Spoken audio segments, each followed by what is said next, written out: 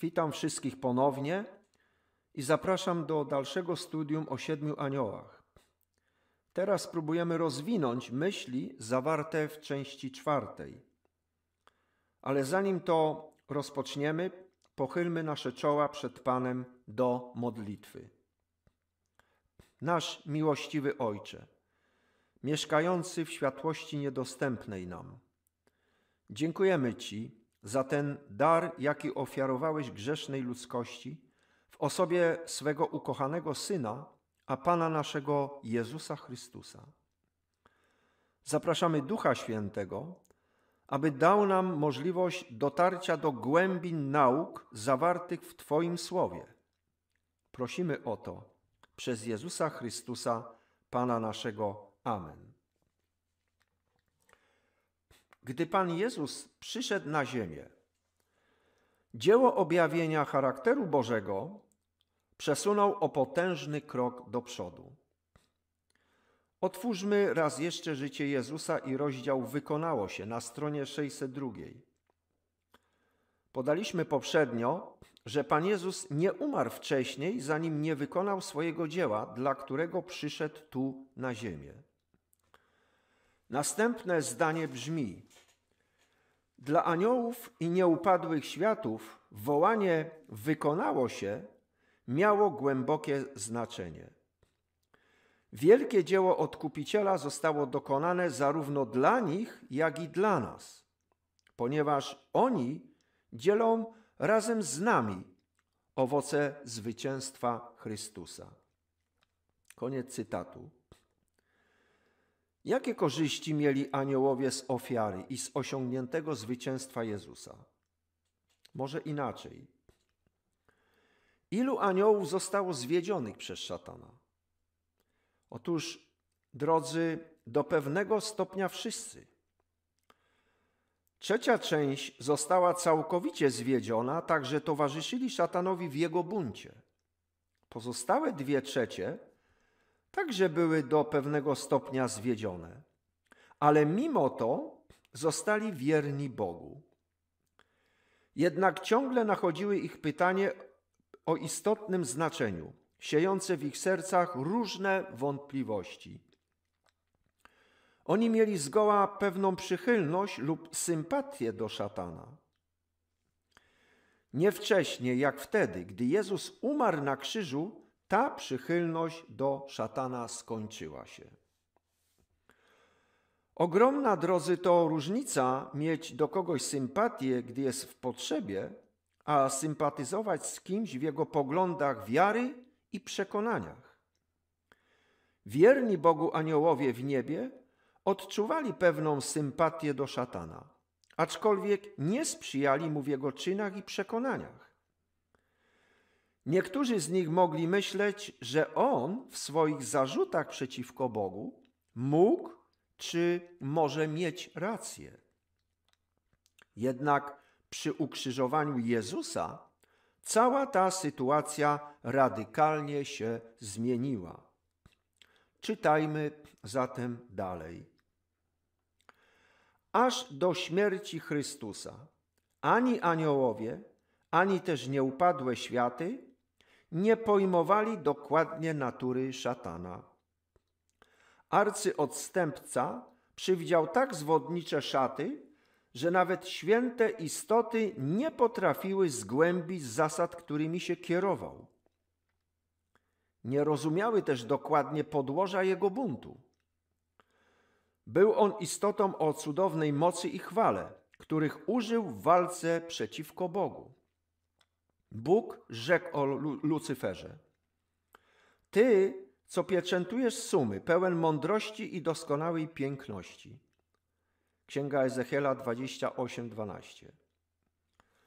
Lucyfer był cherubinem nakrywającym tron Boży i stał w blasku obecności Boga. Był najwyższy ze wszystkich stworzonych istot i on pierwszy objawiał zamierzenia Boga wszechświatu. Po popełnieniu grzechu jego oszukańcze uzdolnienia spotęgowały się, a zdemaskowanie było utrudnione ze względu na pozycję jego stanowiska w służbie Bożej. Koniec cytatu. musimy zrozumieć, jak strasznym zwodzicielem jest szatan. On naprawdę był zdolnym zwieść każdego anioła odnośnie swoich zasad. Otwórzmy teraz stronę 604 i tam czytamy takie słowa. Gdyby Chrystusa obciążał choćby jeden grzech, gdyby chociaż w jednym drobiazgu uległ szatanowi dla uniknięcia straszliwych cierpień, wówczas zatriumfowaliby wrogowie Boga i ludzi. Chrystus pochylił swoją głowę i skonał, lecz do końca trwał w swojej wierze i w posłuszeństwie Bogu. I słyszałem głos wielki mówiący na niebie: Teraz ci się stało zbawienie i moc i królestwo Boga naszego i zwierzchność Chrystusa Jego, iż zrzucony jest oskarżyciel braci naszych, który na nich skarżył przed obliczonością Boga naszego we dnie i w nocy. Koniec cytatu. Tutaj siostra Łaj powołuje się na tekst objawienia, 12 rozdział, 10 wiersz. W tym rozdziale również w wierszach 7 i 8 jest nam zobrazowany początek tego boju, który miał miejsce w niebie. W następstwie tego szatan został z nieba usunięty. Pomimo to dalej prowadził swoje próby zwiedzenia aniołów i nadal ich, ich kusił. Gdy aniołowie przychodzili z nieba na ziemię, czatował na nich i oskarżał przed nimi lud Boży. Czytajmy zatem dalej. Szatan dostrzegł, że został zdemaskowany. Jego postępowanie zostało ujawnione wobec nieupadłych światów, nieupadłych aniołów i całego niebiańskiego wszechświata. Objawił się jako morderca, przelewający krew Syna Bożego. Tym postępkiem pozbawił sam siebie wszelkiej sympatii u niebieskich istot, a zakres jego działalności został ograniczony. Niezależnie od zajmowanych postaw, nie mógł już więcej oczekiwać na przybycie aniołów niebieskich, przed którymi mógłby oskarżać braci Chrystusa jako gatunek tonący w mroku i skalany grzechem. Ostatnie ogniwo sympatii między szatanem a światem niebios zostało zerwane. Koniec cytatu. Proszę, zwróćcie uwagę na ostatnie zdanie, gdzie czytamy, że ostatnie ogniwo sympatii między szatanem a światem niebios zostało zerwane gdzie? Na krzyżu. To jest ten punkt czasu, który się wypełnił dla aniołów w niebie jako jeden z celów tego wielkiego boju. Zwróćmy jeszcze raz uwagę na tekst objawienia, 12 rozdział i 12 wiersz. Cytuję. Dlatego weselcie się niebiosa i wy, którzy w nich mieszkacie. Dlaczego całe niebiosa mogą się weselić? Dlatego, że zostały uwolnione od diabelskich zwiedzeń i pokus. Wszystkie wątpliwości zostały usunięte. Oni zobaczyli szatana takim, jakim on jest w rzeczywistości. Zobaczyli następstwa jego panowania, zobaczyli dokąd i do czego one prowadzą i jako kontrast tego dodatkowo zobaczyli cudowną wspaniałość i piękność charakteru Bożego. Cztery tysiące lat pełnych niepokoju i pokus minęło bezpowrotnie. Teraz niebiosa mają doskonały pokój. Od teraz są upewnione na wieczne czasy co do diabelskich zwiedzeń. Ich miłość do Boga jest teraz większa jak nigdy przedtem. Dlatego też Słowo Boże mówi, cytuję, Dlatego weselcie się niebiosa i wy, którzy w nich mieszkacie. Koniec cytatu. Czy one mają powód do radości? Na pewno tak. Ale teraz, drodzy, w tym samym wierszu przychodzi przeciwieństwo tej radości. Bo czytamy dalej. Lecz biada ziemi i morzu, gdy stąpił do was diabeł pałający wielkim gniewem, bo wie, iż czasu ma niewiele. Zanim Jezus zmarł na krzyżu, wysiłki diabelskie w kierunku zwodzenia były podzielone przeciw aniołom w niebie i ludzkości na ziemi. Ale po śmierci na krzyżu szatan nie może już więcej kusić aniołów. Wobec tego cały swój czas i wysiłki poświęca na zwodzenie ludzkości. Dlatego biada ludzkości, ponieważ teraz człowiek jest jedynym obiektem diabelskiej sztuki zwodzenia. Zatem od teraz możemy wiedzieć, że jeśli chodzi o aniołów, dla nich na krzyżu Golgoty ten wielki bój się zakończył. Jeden cel został osiągnięty, ale ten dla ludzkości jeszcze nie. Gdyby cel dla ludzkości został też przez to osiągnięty, wtedy nie byłoby więcej buntu ze strony ludzkości. Jednak wiemy, że to nie ma miejsca. To wie każdy. Dlatego dla ludzkości musi zostać spełnione to samo dzieło, które zostało spełnione dla aniołów. Gdy to dzieło zostanie spełnione, wtedy zostanie osiągnięty cel tego ogromnego boju. Dlatego też to dzieło musi być ostatnim dziełem. Zatem co jest ostatnim dziełem? Głoszenie Ewangelii? Nie. Objawienie charakteru Bożego. To musi być demonstracja, nie deklaracja. Demonstracja ta będzie powtórzona przez Jezusa, nie w Jego własnym ciele i krwi, lecz w ciele i krwi 144 tysięcy. Ta demonstracja zostanie urzeczywistniona po końcu czasu łaski. Na tym polega dzieło piątego i szóstego ruchu anielskiego. Na to dzieło przygotuje nas poselstwo pierwszego, drugiego, trzeciego i czwartego anioła. Zaraz będziemy o tym czytali. Jezus, aby móc wypełnić swoją misję, musiał posiadać pewne dokładnie określone właściwości lub cechy. Otwórzmy ponownie objawienie 14 rozdział i przyjrzyjmy się tym opisanym tam właściwościom 144 tysięcy, o których już na początku wspominaliśmy. Pierwsza cecha znajduje się w pierwszym wierszu. W nim jest powiedziane, że 144 tysiące mają imię Ojca, napisane na swoich czołach. Już poprzednio stwierdziliśmy, że imię Ojca jest imieniem Jego charakteru. Miał Jezus charakter swego Ojca? Tak, całkowicie. Otwórzmy Ewangelię Jana, 14 rozdział. Tutaj Jezus prowadzi rozmowę z uczniami i mówi do nich w szóstym i siódmym wierszu. Ja jestem droga i prawda i żywot. Nikt nie przychodzi do Ojca tylko przeze mnie. Gdybyście byli mnie poznali i Ojca mego byście poznali. Odtąd go znacie i widzieliście go. Koniec cytatu. Co tutaj chciał powiedzieć Jezus? Dał im do zrozumienia, że widzieli Jego Ojca, bo Jego widzieli. A przez to, że mnie widzieliście, widzieliście mego Ojca, gdyż ja jestem doskonałym odbiciem mojego Ojca.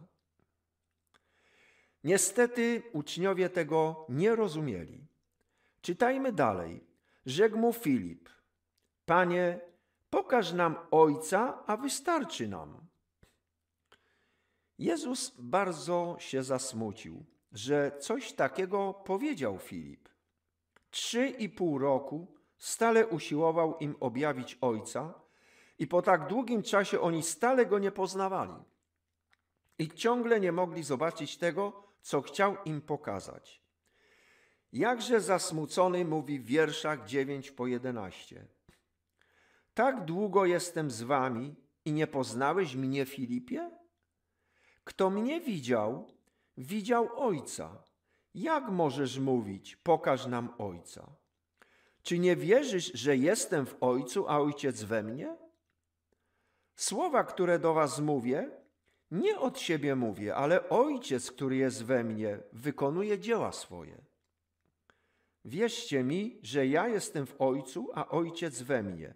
A jeśli by tak nie było, to dla samych uczynków wierzcie. Otwórzmy też Ewangelię Jana i piąty rozdział. Tutaj Jezus jeszcze raz objaśnia swoje powiązanie z niebieskim Ojcem. I w wierszu dziewiętnastym czytamy takie słowa. Zaprawdę, zaprawdę powiadam wam, nie może syn sam od siebie nic czynić, tylko to, co widzi, że ojciec czyni. Co bowiem on czyni, to samo i syn czyni. Ważną rzeczą jest, aby wiedzieć i widzieć, że Jezus doskonale pojmował charakter Ojca. Ojciec nie czynił nic, o czym nie wiedziałby Jezus i w czym by go Jezus nie naśladował. O tym czytamy w 20 wierszu. Cytuję: Ojciec bowiem miłuje syna i ukazuje mu wszystko, co sam czyni, i ukaże mu jeszcze większe dzieła niż te, abyście się dziwili. Ojciec zatem pokazuje Jezusowi wszystko, co czyni, a Jezus czyni wszystko, co mu ojciec pokazał. W ósmym tomie Świadectw dla Kościoła na stronie 286 jest napisane: Wszystko, co człowiek musi i może wiedzieć o Bogu, zostało objawione w życiu i w charakterze Jego Syna. Zastanówmy się raz jeszcze nad myślą, że Jezus posiadał pełnię charakteru Bożego. Czy było to potrzebne do wykonania Jego dzieła? Na pewno. Jezus nie mógłby objawić charakteru swojego Ojca, gdyby go osobiście nie posiadał. Spróbujmy uczynić jeszcze jeden krok w kierunku poznania charakteru Bożego. Zakon Boży jest kopią Bożego charakteru. Czytamy w Starym Testamencie, w Izajaszu, że Jezus przyszedł, aby zakon wywyższyć i uhonorować. W Biblii angielskiej to słowo wywyższyć jest podane słowami powiększyć, przeszkło powiększające. Co to oznacza? Dlaczego coś powiększamy przez szkło powiększające? Aby wydobyć na jaw największe głębie danej rzeczy, by odrzucić wszelkie wątpliwości co do tej rzeczy i by po prostu zobaczyć to, czego bez szkła powiększającego nigdy nie zobaczylibyśmy. Zatem, abyśmy mogli wiedzieć, czego od nas wymaga zakon, do kogo mamy się zwrócić? Czemu mamy się przypatrywać? Życiu Jezusa Chrystusa. On jest tym szkłem powiększającym w tej kwestii. Ono wyraźnie wyjaśnia i przedstawia zakon.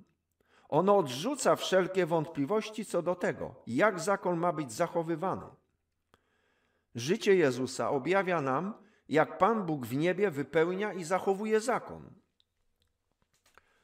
W końcowych czasach historii Ziemi Zakon stale będzie największym punktem spornym w tym wielkim boju.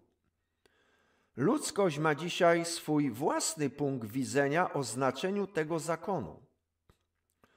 Ludzie wierzą, że są sytuacje, w których zakon musi zostać złamany, aby móc go zachować.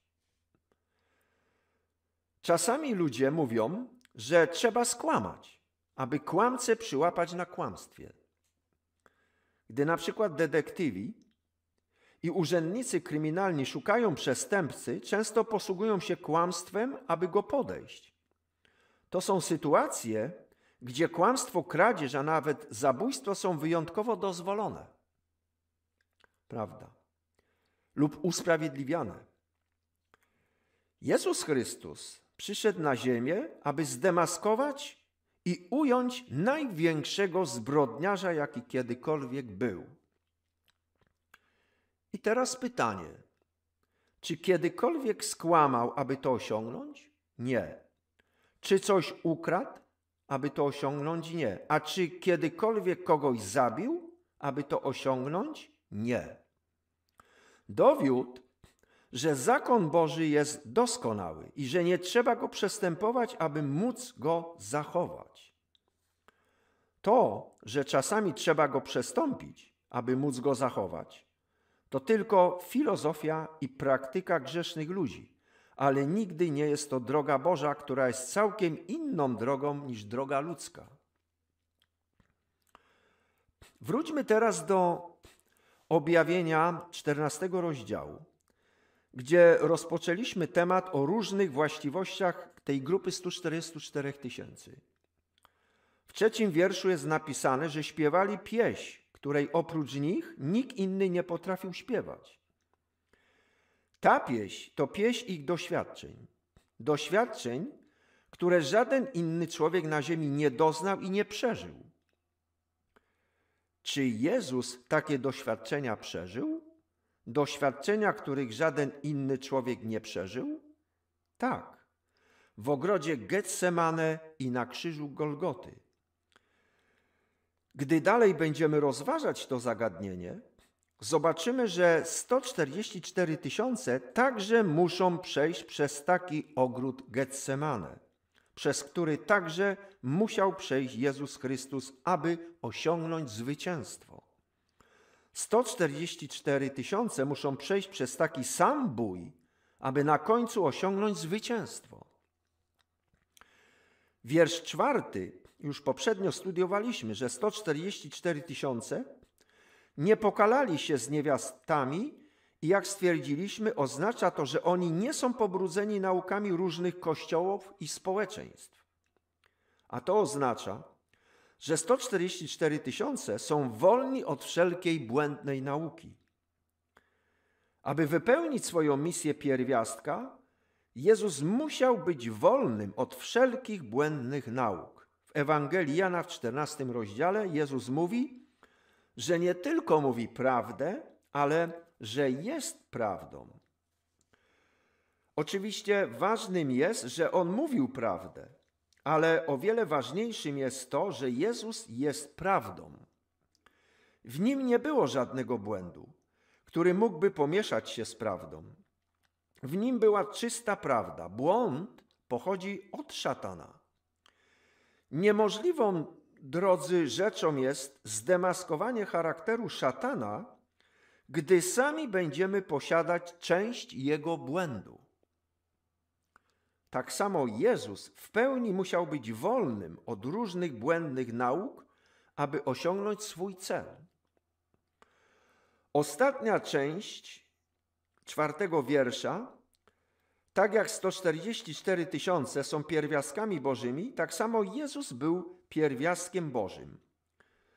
Stwierdziliśmy, że żniwa nie mogły być wcześniej zebrane, dopóki nie zostały przyniesione pierwiastki zbóż.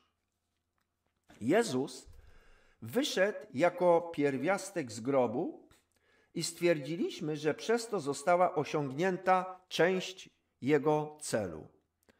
A to tego, który na końcu wielkiego boju ma zostać całkowicie osiągnięty. Aniołowie zostali uwolnieni od zwodzącej diabelskiej mocy, jednak ludzie jeszcze nie. Tu właśnie jest ta część żniw. Kto w tym czasie wraz z Jezusem został z martwych wzbudzony? Wszyscy męczennicy Starego Testamentu, to znaczy wszyscy ci, którzy w obronie prawdy położyli swoje życie. To jest nam powiedziane w życiu Jezusa na stronie 623. Cytuję. Gdy Chrystus zmartwychwstał, wyzwolił z grobów wielu umarłych. Trzęsienie ziemi towarzyszące Jego śmierci otworzyło ich groby i gdy On zmartwychwstał, oni również poszli za Nim. Byli to ci, którzy pracowali w imię Boże i którzy życie oddali na świadectwo prawdy. Teraz mieli dać świadectwo o Jego zmartwychwstaniu. Koniec cytatu. Kim oni byli? Współpracownikami Bożymi, którzy oddali życie na świadectwo prawdzie. Kto był pierwszym, który położył swoje życie dla prawdy? Abel. A więc Abel w tym czasie został z martwych wzbudzony i teraz jest w niebie. Gdy Abel umarł, czy był gotów do żniw? Oczywiście.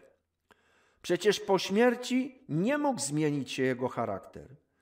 Takim, jakim zszedł do grobu, takim też zmartwychwstał. Był zatem zupełnie przygotowany do zmartwychwstania, ale musiał oczekiwać i oczekiwać, aż pierwiastek został przyniesiony. Jak tylko snop pierwiastka został przyniesiony Bogu, mogło nastąpić żniwo i ten snopek mógł zmartwychwstać wraz z Jezusem. Tak samo pozostali zmarli zostaną w swoich grobach tak długo, dopóki następne pierwiastki nie, zostaną, nie zostaną przyniesione, a mianowicie 144 tysiące. Tak jak zmartwychwstanie Abla uzależnione było od Jezusa jako pierwiastka, tak też zmartwychwstanie pozostałych umarłych uzależnione jest między innymi od tego, że 144 tysiące wykonają swoje dzieło pierwiastków. Jakaż ogromna odpowiedzialność spoczywa na 144 tysiącach. Dziękuję wszystkim za ten wykład, za cierpliwość i zakończmy to studium modlitwą. Przepraszam. Dziękujemy Ci, drogi Ojcze, za światło, które spływa na nas za sprawą Twego słowa zawartego w Biblii i w duchu proroctwa. Uczyń nas pojętnymi uczniami w Twojej szkole i spraw, aby co nieco z tego, co tu słyszeliśmy, pozostało w naszych sercach. Oto Cię proszę w drogim imieniu Jezus. Amen. Dziękuję raz jeszcze wszystkim i zapraszam wszystkich do studium, dalszego studium tych ważnych myśli, tego ważnego poselstwa w części szóstej.